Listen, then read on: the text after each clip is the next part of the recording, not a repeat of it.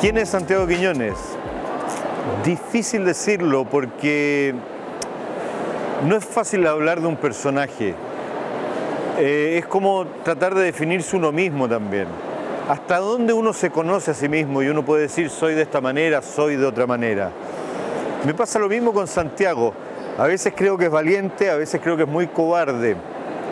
Em, a veces pienso que es un buen policía, otras veces es un muy mal policía. Lo que sí sé, tengo algo claro, es por qué Santiago Quiñones me es simpático, por qué me cae bien este policía, este policía de, de civil. Me cae bien por lo siguiente, cuando uno está en un cargo de poder, como le sucede a la policía, muchas veces puede ser un verdadero desgraciado, puede ser una muy mala persona en ciertas decisiones que se toman. Y lo que me ocurre con Santiago, que es cuando él tiene la posibilidad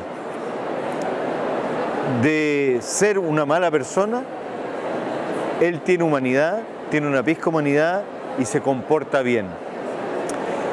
Y esa pequeña diferencia es lo que lo diferencia de otros policías que no son perfectos.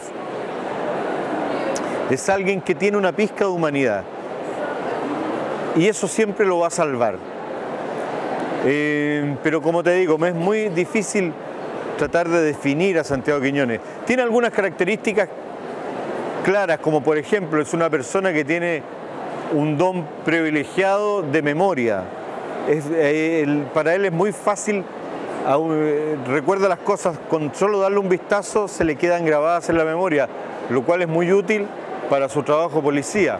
Otra cosa que es muy útil para su trabajo de policía es que él tiene una especie de desconexión entre lo que siente y su rostro.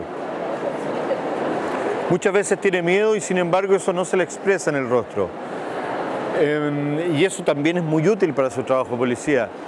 Pero hay cosas que le son muy inútiles para su trabajo de policía o que van en contra, que es cada vez que está en un evento de mucha tensión, a él le dan unas ganas terribles de ir al baño, de de orinar. Y esa es una característica en él que le juega muy en contra. Finalmente es un tipo